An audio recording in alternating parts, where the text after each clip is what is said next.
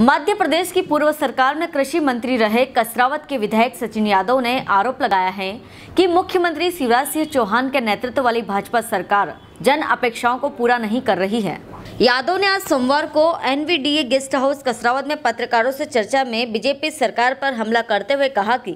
कांग्रेस विधायकों के निर्वाचन क्षेत्रों में भाजपा की सरकार ने विकास कार्यों को ठप कर दिया है। कसरावत विधानसभा क्षेत्र में भी भाजपा सरकार ने स्वीकृत विकास कार्यों को ठप कर दिया है। इन्हें पूरा कराने के लिए मैं लगातार संघर्षरत हूँ। विधायक सचिन यादव ने पत्रकारों को बताया कि कृषि मंत्री रहते हुए मैंने कसरावत में दो करोड़ इक्यानवे लाख इक्कीस हज़ार एक सौ पैंतालीस रुपए की लागत से एक कौशल विकास केंद्र की स्वीकृति प्रदान की थी, जिसका शिलान्यास और भूमि पूजन भी किया गया था। रोजगारों उन्मुखी प्रशिक्षण के लिए स्थापित किए जा रहे इस कौशल विकास केंद्र की स्थापना को ठंडे बस्ते में डाल दिया है। कसरावत से खान की रिपोर्ट।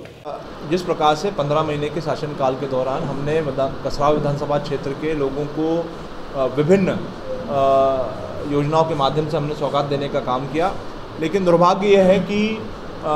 आज जो वर्तमान में जो सरकार पिछले दरवाजे से बैठी हुई जिसने विधायकों की खरीद फरोख्त खरीद फरोख करके सत्ता में तो बैठ गए, लेकिन जो जन भावनाएँ हैं, उन जन भावनाओं के अनुरूप ये सरकार नहीं का, काम नहीं कर रही है। और उसी का दुष्परिणाम है कि आज हमारी कसराव विधानसभा की जितनी विभिन्न योजनाएँ हमने हमारे शासनकाल में स्वीकृत कराने का काम किया था वो सारी योजनाओं को ठंडे बस्ते में डालने का काम आदरणीय साथियों किया है। अ, मैं जब कृषि मंत्री था तो मैंने बारह महत्वपूर्ण सड़कें हमारे क्षेत्र के किसानों के लिए अ, हमने मंजूर कराई थी और उस योजना में लगभग अ, सारी प्रक्रिया पूर्ण हो चुकी थी। निविदाएँ हो गई थी, एजेंसियाँ फाइनल हो गई थी। चूँकि मूल विभाग हमारा मंडी विभाग था, लेकिन जो क्रियनवे एजेंसी थी, वो पीडब्ल्यूडी थी। उस पीडब्ल्यूडी विभाग को हमने लगभग 21 करोड़ रुपए हमें ट्रांसफ़र करने का काम भी आदरणीय साथियों किया था। सिर्फ़ काम शुरू होना था। लेकिन इस बीच जो सत्ता परिवर्तन हुआ और सत्ता परिवर्तन होने के आज लगभग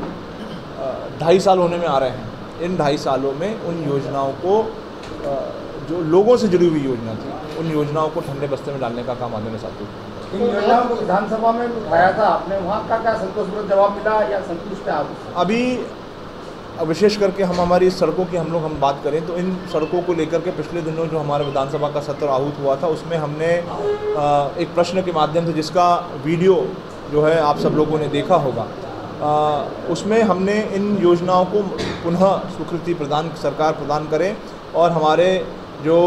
किसान साथी हैं उन किसान साथियों को राहत पहुँचाने का काम करें। इसके लिए हमने उस प्रश्न के माध्यम से हमने कार्रवाई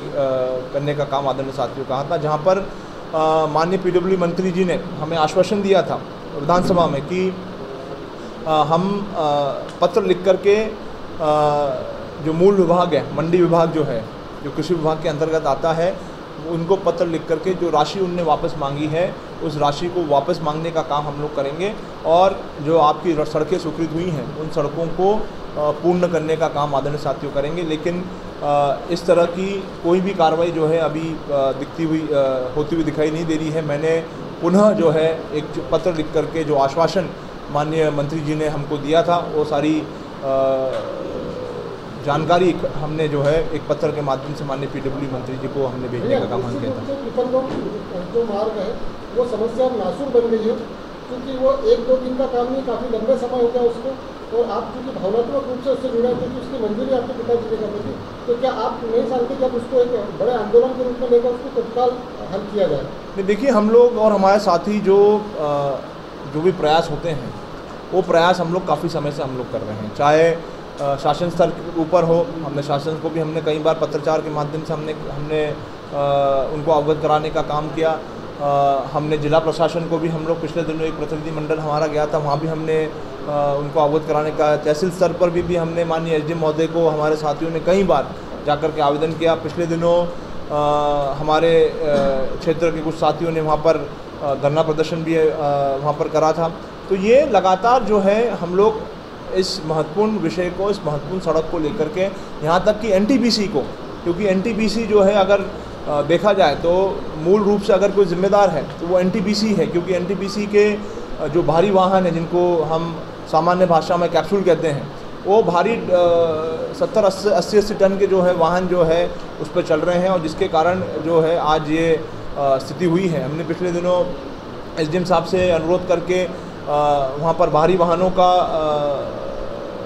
आवागमन को हमने बंद करवाने का काम आदरणीय साथियों किया। लेकिन उससे समस्या का हल नहीं होने वाला है। समस्या का हल तभी हो पाएगा जब अ, शासन जो है इस गंभीर विषय को अ, जो है स्वीकार करेगी और उसमें तत्काल रूप से जो है कार्रवाई करते हुए इस इस महत्वपूर्ण रोड को पूर्ण करने की दिशा में उसको इसके टेंडर करवाने का काम आदरणीय साथियों करें। हम यहाँ तक कि सीआरपीएफ जो सेंट्रल रिज़र्व फंड होता है उस सेंट्रल रिज़र्व फंड को भी हमने प्रस्ताव बना करके भेजा है लेकिन आज दिनांक तक कोई कार्रवाई होते हुए हमको दिखाई नहीं दी गई निश्चित रूप से क्षेत्र की फ़सलें ज़्यादातर खराब होने लगी है। इसके बारे में हमने पिछले दिनों जब क्षेत्र के सब बहुत सारे साथियों के हमारे पास फ़ोन आने लगे और हमने अ, सब जगह हमारे साथियों से उसने जायज़ा भी लिया सबसे बात भी करी और वाकई में हमारे ये वर्षा के कारण जो है, वर्षा के कारण बहुत सारे हमारे क्षेत्र में हमारे किसान साथियों की फ़सलें ख़राब होने की जो है खबरें लगातार आ रही हैं। हमने जिला प्रशासन को और माननीय मुख्यमंत्री को भी हमने पत्र लिख करके भेजा है। कृषि मंत्री को भी पत्र लिखा है, राजस्व मंत्री को भी पत्र हमने लिखा है और हमने उनसे अनुरोध करा है कि तत्काल प्रभाव से जो है आप इसका सर्वे करवाएँ और सर्वे करा करके जो फ़सल नुकसानी हुई है, और फ़सल नुकसानी का भरपाई करने का काम करें और उनको उचित मुआवजा देने का काम करें। हेलो फ्रेंड्स आप देख रहे हैं हमारा channel S W twenty four news हमारे सारे वीडियो सबसे पहले देखने के लिए आप हमारे चैनल को सब्सक्राइब करें और पास में लगे बेल आइकन को दबाना बिल्कुल भी ना भूलें।